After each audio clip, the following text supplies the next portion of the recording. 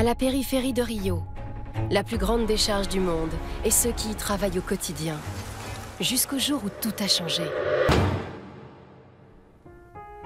What I really want to do is to be able to change the lives of a group of people with the same material that they deal with every day. Un projet sans précédent, une aventure humaine unique.